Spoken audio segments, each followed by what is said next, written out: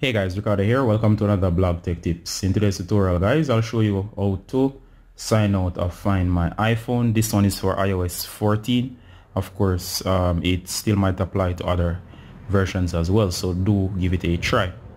So if you want to sign out of the Find My iPhone feature, simple follow along. Alright guys, so um, go ahead and hit on settings. Once you're in settings, you're going to go to at the top of the screen. You're going to click on your profile name once you're in here guys you're gonna see the options. Go ahead and go down to find my iphone. Which is right down here. Go ahead and tap. once you do you should be in here. Go ahead again guys and click on find my iphone. And of course and of course at the top of the screen you should should see find my iphone. And of course you're gonna go ahead guys and turn off the feature. It's gonna ask for the password as seen here. And make sure that you know the password to turn off the feature all right um, this is great for in cases where you want to simply um, there's several reasons why you want to do all right so there's several reasons why you might want to do this. For example I'm not going to do this right now so I'm just demonstrating.